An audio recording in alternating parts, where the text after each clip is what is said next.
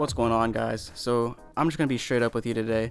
I'm going to be showing you how you can play a PS4 game like Spider-Man on your Xbox One. And no, this is not a fake video. This is not one of those videos where I'm going to paste in PS4 gameplay while I'm messing with the Xbox One. It's This is real. I'm going to be show you how to play a PS4 game on your Xbox One. Um, so I'm going to show you all the steps, how you do it. It's pretty easy. Um, so let me go ahead and just tell you what materials you need. Um, so first of all, you're obviously going to need an Xbox One. Um, so I have an Xbox One X here. It doesn't matter what kind of Xbox One you have though. It can be the original, the S, anything. Um, and then you need an Xbox One uh, controller. Uh, and then you need a PS4. Um, so I have the PS4 Pro, but it can be any kind of PS4. The old one, um, PS4 Pro, PS4 Slim, anything. And then you need a PS4 controller that works with your PS4. And then you also, this is not last but not least, you obviously need a PS4 game. And you know this is a PS4 game because this is Spider-Man, and Spider-Man is only on the PS4. They don't even have it for Xbox, which is, you know, unfortunate for Xbox users, but that's just the way it is. Um, so those are the those are the only things you need: two controllers, two consoles, and your game. So let's go ahead and get into the steps of basically how you do this. So it's pretty straightforward to start off with. You got your consoles, um, both have power plugged into them, so your power is plugged in here, your power is plugged in here on your PS4. Um, so you got your Xbox, your HDMI cable is plugged into your Xbox, and the other end is plugged into your TV. And so here, this next step is where it gets a little bit different. So you got your PS4 um, right here. You got one end of an HDMI cable plugged in here, and now you take the other end of that HDMI cable and plug it into the the next HDMI plug on your Xbox One. So you can't really see it because it's kind of dark in my, my picture. But basically, if you go start from the right, the Xbox One, you have a power plug, an HDMI cable, um, or HDMI plug that goes to your TV, and the next HDMI plug goes to your PS4. So it's kind of like a little loop. Um, so this is this is how you set it up. Let's go ahead and turn on the Xbox now because this is going to be like this is going to be where all the magic happens. Without this Xbox One here, the magic's not happening. So it's going to be a minute while the Xbox One boots up because it's it's kind of slow when it boots up, unfortunately. I think it's a little bit slower than the PS4. 2,000 years later. So five years later, the Xbox One is finally booted up. Um, and basically what you're going to want here is you're going to want your Xbox on, obviously, your Xbox controller on, and you're going to want this app called One Guide. So I'm not sure if it actually comes with the uh, console or not. Um, but basically, um, if it if it did come with your console, you'll find it under apps, and you'll just scroll down and click on One Guide. Um, if it doesn't come with the console, then you can just download it from the Microsoft Store. Pretty straightforward. Um, so next thing you're gonna do is launch One Guide. So you've got One One Guide open now. Uh, it's gonna say your TV signal is lost if you don't have anything plugged into the the HDMI port. Um, but basically, now here's where the magic happens.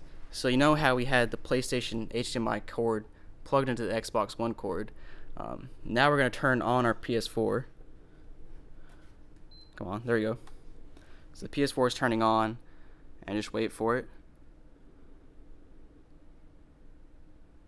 Come on, any day now. And there it is. So there's your PS4. It's on your Xbox One. Um, see if you cl click the guide, it still pops up. Now, is, isn't that the weirdest sight you've ever seen? You see the Xbox One guide over here, but you see the PlayStation in the background. Um, so basically, I've got my PS4 on. I've got I can put my game in into the PS4, and I'm now basically playing PS4 on the Xbox One. It's playing through the Xbox One pretty much. Um, so it's pretty sweet. You know, as you can see, I'll show you. You can play a game Click on Marvel Spider-Man. No, I don't want to update. Uh, let's just boot it up. So there we go. We're playing Spider-Man now. So you may be thinking, um, what what use of this is to me? You had to have two consoles to do this, you know. And you may be thinking, why can't I just put the PS4 game in the Xbox One and then and then it'll play? Um, and, and, that's a good question.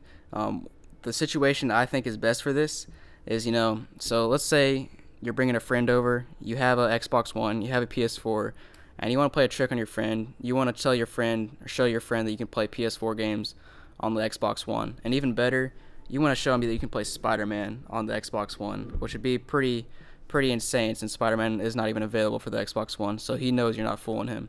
Um, so basically, what you what you would do is you'd have your Xbox One right up front in the little cubby right here, like I do, you'd have your PS4 just you know sitting behind the TV or something, sitting in the back somewhere you can't see it, and you turn on your Xbox One, you have your game already in the PS4. Um, you turn on the Xbox One, and then you go to that one guide, and then you've got your PS4 controller as well. But he has no idea you have a PS4, no idea. Um, and then you just start, you start going going ham, and so all he sees is the Xbox One on, and he just sees this pop up, which is crazy. You know, he's gonna think that's absolutely insane. Um, so let, us just kind of start from what he would see and show you how how uh, crazy it's gonna look. So let's go ahead and turn the Xbox off. You've got your PS4 just sitting in the back. You know, um, it's got it's already got Spider-Man in it, or you can, you know, it really would really fool them. Is you had two copies of Spider-Man. I know it's a little bit extra, but you have two copies of Spider-Man. you put one in your PS4 or your Xbox One right here, um, and then you boot it up and show them just working like that instead of just the copy from here. You know, that'd be crazy. Um, so basically, here's what he's gonna do. You're, he's gonna walk in, be like, "All right, let's play some Spider-Man on Xbox One." He's gonna be like, "Nah, you're you're crazy. Um, there's no way we're playing Spider-Man for the PS4 on your Xbox One." And you're like, "Nah, nah, man. Let's let's do this." Um, so you've got you've got one copy of Spider-Man on your PS4 already in. Um, you stick the other copy. Let's see. So you, you're on here, and you know you skip you stick your other copy in right now and you're like, all right, dude, let's let's play Spider-Man. You click on this one guide. He has no idea what it is, um, but he thinks he's like, oh yeah, whatever. Let's let's click on it. There's no way you're just fooling me. Um, so you click on one guide, it'll pop up. So there it goes. So you clicked on one guide, it pops up. Here it is. You still see the Xbox, um, the Xbox guide, so he knows it's legit. And now you just switch over to PS4 controller and start going to town. Start playing P- start playing Spider-Man. You know. So personally, I think it's pretty sweet. Um, another situation I think is pretty cool is even if you don't want to fool a friend, uh, this is a really easy way to be lazy. So you know, let's say you're sitting back on your couch, you got your PS or, or you got your Xbox One and your PS4, and you know, lots of day, lots of times, like look right here, I got one remote. Um, I got some other remotes somewhere else, but I have basically three remotes that you have to use to change inputs and change change input, inputs on the TV, change inputs on the uh, Pioneer sound system. You know, it's a whole mess. So to make this really easy, you're just sitting on your couch. You got your two controllers. You turn them both on. Um, you get you're on your Xbox One. You know you can play your Xbox One games if you want to. And then once you're tired of playing Xbox One, you just click on one guide. You have your PS4 on, and you're instantly playing PS4. Um, so you don't have to scroll through inputs and all that mess. Super easy super useful actually. Um, it just lets you be lazier and lazier, which is that's what the world is all about nowadays. Make everything automated. There's no need to get up from your chair and know change inputs or anything like that. Just make it all automated. One device. Super simple. Super easy. Thanks for watching, guys. Hope you learned how to play PS4 games on your Xbox One. It's pretty simple. Just need two consoles, two two controllers, and a game. Um, I think a lot of people have PS4s and Xbox One, so it's, it's not going to be too difficult. But thanks for watching, guys. Make sure to check out the links in the description. Make sure to subscribe and like this video. And hope you guys have a great day.